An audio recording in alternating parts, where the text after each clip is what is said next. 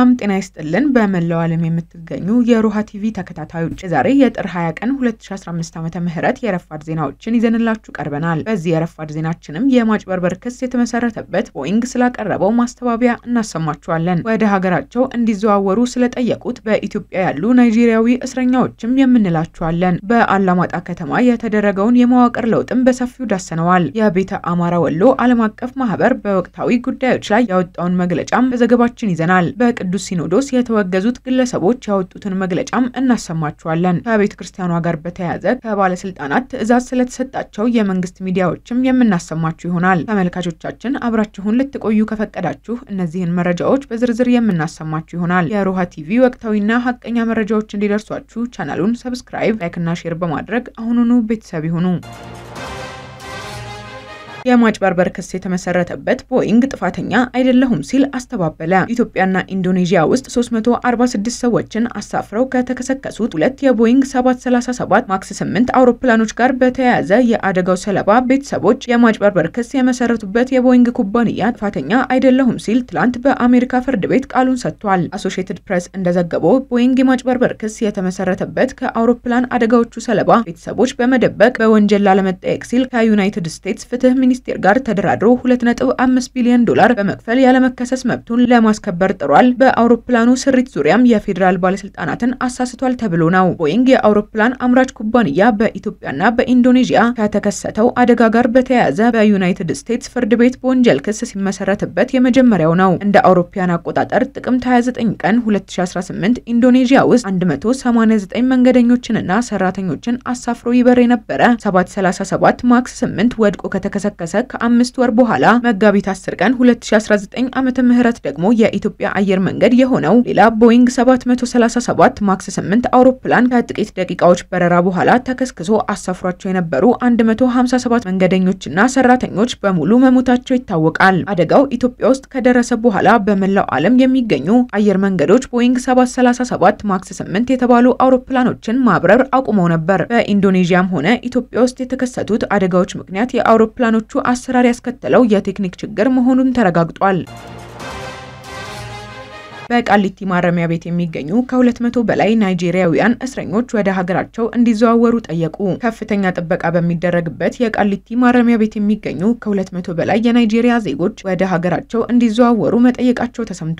አብዛኞቹ እስረኞች በአደገኛ እጽና በህገወጥ የገንዘብ ዝውውር ተይዘው ማረሚያ ቤት የገቡ መሆናቸው የተገለጸ ሲሆን በሕክምና በምግብና ውሃ እጥረት እየተሰቃዩ መሆናቸውን በመግለጽ የሰብአዊ መብት ጥሰት እየተፈጸመብን በመሆኑ ወደ ሀገራችን ማረሚያ ቤት እንዘዋወር ሲሉ የናይጄሪያን መንግስት እርዳታ መጠየቃቸው ተሰምቷል። ስለሆነም ታራሚዎቹ ለናይጄሪያ ፕሬዝዳንት ሙሐመድ ቡሃሪና በኢትዮጵያ ለናይጄሪያ ኤምባሲ በጻፉት ደብዳቤ የተወሰኑት ለበሽታ መጋለጣቸውን አስታውቀው ቀሪ የእስር ጊዜያቸውን በሀገራቸው ለመጨረስ የሀገሪቱን መንግስት እርዳታ እንዲያደርግላቸው ጠይቀዋል። ታራሚዎቹ በደብዳቤ አቤቱታቸውን ሲገልጹ ይህ ለሁለተኛ ጊዜ ነው። ባለፈው ጥቅምት ወርም ከ300 ያላነሱ የናይጄሪያ ዜጎች በቃሊቲ ማረሚያ ቤት በአስከፊ ሁኔታ እንገኛለን በማለት ወደ ናይጄሪያ እንዲዘዋወሩ ለሀገራቸው መንግስት ጥሪ አቅርበው ነበር። ይሁን እንጂ የታራሚዎቹን ጥያቄ ለመመለስ የናይጄሪያ መንግስት ከዲፕሎማቲክ ዘዴ በስተቀር ሀገራትን ማስገደድ እንደማይችል ገልጿል።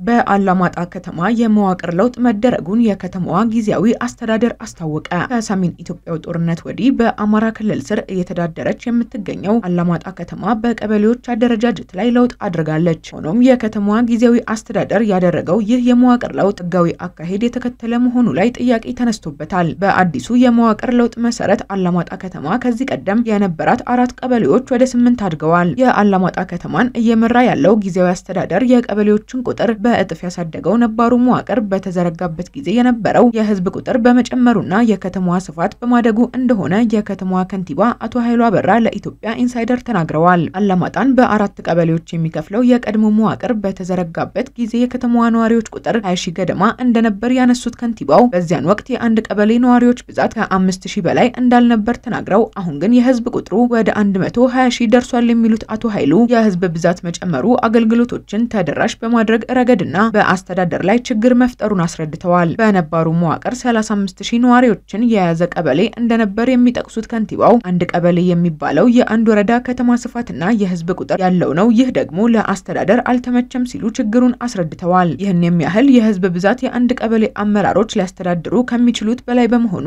የአስተዳደር ምቹነትን በሚያመጣ መልኩ ቀበሌዎቹን እንደ አዲስ ማዋቀር ተገቢና አስፈላጊ ሆኖ መገኘቱንም ጨምረው አብራርተዋል። አዲሶቹ አመራሮች ካለፈው ሳምንት ሰኞ ጥር 8 ቀን 2015 ዓ.ም ጀምሮ ወደ ስራ መግባታቸውንም ከንቲባው አክለዋል። ጊዜያዊ አስተዳደሩ አዲሶቹን ቀበሌዎች አደራጅቶ ወደ ስራ ቢገባም የመዋቅር ለውጥ ለማድረግ የሚያስፈልጉ ህጋዊ ሂደቶች አለመሟላታቸውን ኢትዮጵያ ኢንሳይደር ያነጋግራቸው የክልሉ የስራ ኃላፊዎች ተናግረዋል። በአንድ ክልል ውስጥ የሚገኙ የመዋቅር ለውጦች የሚጸድቁት በክልል አስተዳደር ምክር ቤት ቢሆንም በአላማጣ ተግባራዊ የተደረገ የቀበሌዎች ቁጥር ለውጥ ግን እስካሁን በአማራ ክልልም ሆነ በትግራይ ክልል አልጸደቀም። የከተማይቱ ከንቲባ አቶ ኃይሉ በበኩላቸው የአላማጣ ከተማ ጊዜያዊ አስተዳደር ተጠሪነቱ ለአማራ ክልል ሰሜን ወሎ ዞን መሆኑን አስታውቀዋል። የአላማጣ ከተማ የመዋቅር ለውጥ ጥያቄ እስካሁን ለአማራ ክልል መንግስት እንዳልቀረበ የክልሉ ፕላንና ልማት ቢሮ ኃላፊ አቶ አንሙት በለጠና የክልሉ ርዕሰ መስተዳደር ልዩ አማካሪ አቶ ደሳለኝ አስራደ ተናግረዋል። የአማራ ክልል ኮሚኒኬሽን ቢሮ ኃላፊ አቶ ግዛቸው ሙሉነህ አላማጣ ከተማን በተመለከተ ለፌዴሬሽን ምክር ቤት የደረሰ ጥያቄ መኖሩን አስታውሰዋል። ከአላማጣ ከተማ በተጨማሪም ከወሰንና ማንነት ጋር በተያያዘ ጥያቄ የሚነሳባቸው ሌሎች ቦታዎች መኖራቸውን የገለጹት አቶ ግዛቸው ጥያቄዎች መቅረብ ያለባቸው በተናጠል የአንዲት ከተማ ጉዳይን በማንሳት አይደለም ብለዋል። በኢትዮጵያ ኦርቶዶክስ ቤተ ክርስቲያን ላይ የተካሄደውን የጥፋት ተልዕኮ እንደሚያወግዝ የቤተ አማራ ወሎ ዓለም አቀፍ ማህበር ገለጸ።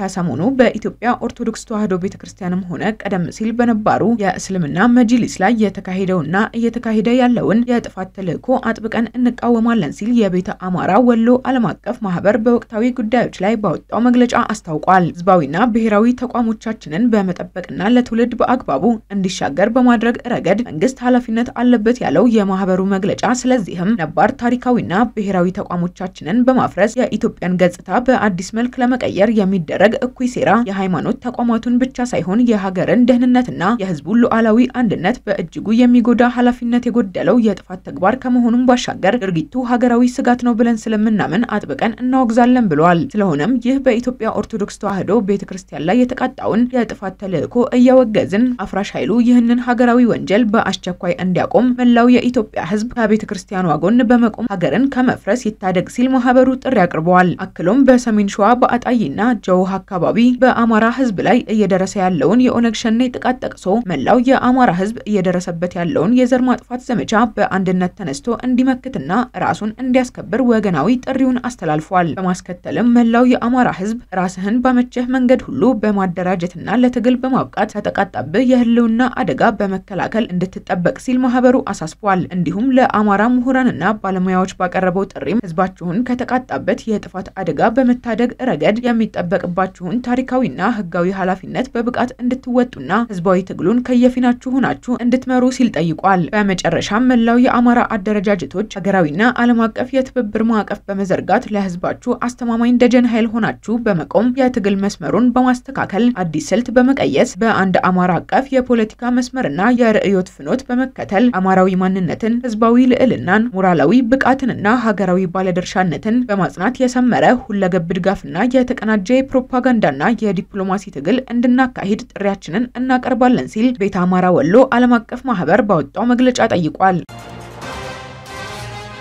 በሲኖዶሱ ውሳኔ ከቤተ ክርስቲያኗ እንዲለዩ የተደረጉት ግለሰቦች የሰጡት መግለጫ እያነጋገረ ነው። ከቀኖና ውጪ በፈጸሙት ህገወጥ የኤጲስቆጶሳት ሹመት በቅዱስ ሲኖዶሱ ተወግዘው ከኢትዮጵያ ኦርቶዶክስ ተዋሕዶ ቤተ ክርስቲያን የተለዩት ግለሰቦች በድጋሚ ሌላ ህገወጥ መግለጫ ሰጥተዋል። እነዚህ ከድቁና ጀምሮ ያላቸውን የክህነት ማዕረግና የቤተ ክርስቲያን አገልጋይነት በቅዱስ ሲኖዶሱ የተነጠቁት ግለሰቦች ትላንት በሰጡት መግለጫ ወንጌል በአንድ ቋንቋ ለዘመናት መሰበኩ ቤተ ክርስቲያኗ ላይ አደጋን ጥሏል። በርካታ ቤተ ክርስቲያኖች በካህን እጥረት ተዘግተዋል። ምዕመናኑም በወንጌል እጥረት ሃይማኖቱን ለቆ ወጥቷል ሲሉ ተደምጠዋል። ነገር ግን እነዚሁ ይህንን ህገወጥ ሲመት የፈጸሙትና አሁን ይህን መግለጫ ያወጡት ዓለማዊ ግለሰቦች በቤተ ክርስቲያን አገልግሎታቸው ዘመን በቋንቋቸው ያገለግሉ እንደነበርና በተለያዩ ቋንቋዎች አገልግሎት እንደሚሰጥ ሲመሰክሩ እንደቆዩ እየተነገረ ነው። ቤተ ክርስቲያኗም በተለያዩ ቋንቋዎች ወንጌልን እንደምትሰብክ ይታወቃል። ተወጋዥ ግለሰቦቹ በአንድ አካባቢ ብቻ የተያዘ የበላይነት በቤተ ክርስቲያኗ ምዕመናን ላይ ያለመተማመንና የኔነት ስሜት እንዳይኖር አድርጓል ብለዋል። በብሔር ጥላ ስር ተጠልለው አገርንና ሕዝብን አደጋ ውስጥ የሚጥል ከቤተ ክርስቲያኗ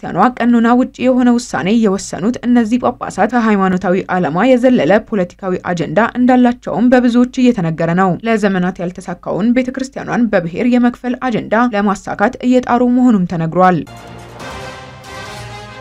የኢትዮጵያ ኦርቶዶክስ ተዋሕዶን አሁናዊ ሁኔታ የመንግስት ሚዲያዎች ሽፋን እንዳይሰጡ መከልከላቸው ተሰማ። የኢትዮጵያ ኦርቶዶክስ ተዋሕዶ ቤተ ክርስቲያንን ቀኖና ሽረው ኤጲስቆጶሳትን በራሳቸው ሽሟል በማለት ቤተ ክርስቲያኗ ባወገዘቻቸው ግለሰቦች አማካኝነት የተፈጠረውን ችግር ሽፋን አልሰጡም በተባሉ መንግስት በሚቆጣጠራቸው የህዝብ ሚዲያዎች ላይ ቅሬታ ተነስቷል። በተለይም የኢትዮጵያ ብሮድካስቲንግ ኮርፖሬሽን፣ ፋና ብሮድካስቲንግ ኮርፖሬሽን፣ ዋልታ ሚዲያ እና ኮሚኒኬሽን እና የኢትዮጵያ ፕሬስ ድርጅት ላይ የተነሳው ተቃውሞ ሚዲያዎቹ ከጉዳዩ አንገብጋቢነት አንጻር ተገቢውን የሚዲያ ሽፋን አልሰጡም የሚል ነው። አዲስ ማለዳ ሰማሁት ባለችው መረጃ ሚዲያዎቹ ከመንግስት ኃላፊዎች በጉዳዩ ዙሪያ የሚሰጡ መግለጫዎችን ሽፋን እንዳይሰጡ ጥብቅ ትዕዛዝ ደርሷቸዋል ተብሏል። በሚዲያዎቹ የሚሰሩ ሰራተኞችም ክልከላው እንደደረሳቸው አረጋግጠውልኛል ስትል አዲስ ማለዳ ዘግባለች። ሰራተኞቹ አክለውም ሽፋን ለመስጠት ከመታገድ ውጭ የእግዱ ምክንያት ምን እንደሆነ እንዳልተገለጸላቸው ተናግረዋል። በትዕዛዙ መሰረትም ከመግለጫው በተጨማሪ በጉዳዩ ዙሪያ የሚኖሩ ማንኛውም አይነት መረጃዎች በሚዲያዎቹ ሽፋን እንዳያገኙ መባሉ የተሰማ ሲሆን ትዕዛዙም ጥብቅ መሆኑ ተነግሯል። የኢትዮጵያ ኦርቶዶክስ ተዋሕዶ በምታከብራቸው በዓላትና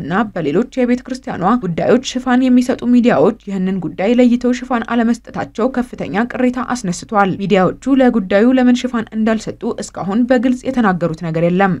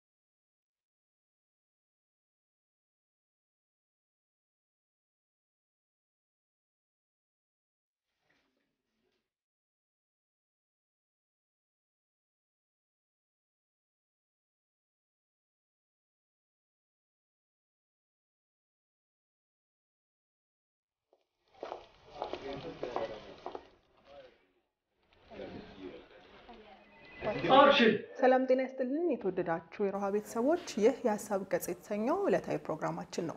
በዛሬው ፕሮግራማችን በወቅታዊ ሀገራዊ ጉዳዮች ላይ ውይይት ለማድረግ እዚህ ስቱዲዮ ተገኝተናል። እስከ ፕሮግራማችን ፍጻሜ ድረስ አብራችሁን ቆዩ። የሀሳብ ገጽ ጠንካራ የሀሳብ ምልከታዎች የሚስተናገዱበት መድረክ፣ ወቅታዊ ሀገራዊ ጉዳዮች ይተነተኑበታል። ተመልካቾቻችን የሰዓቱ የሮሃ ቲቪ ዜናዎቻችን የተከታተላችኋቸውን ይመስሉ ነበር። አብራችሁን ስለነበራችሁ ከልብ እናመሰግናለን። ሰላም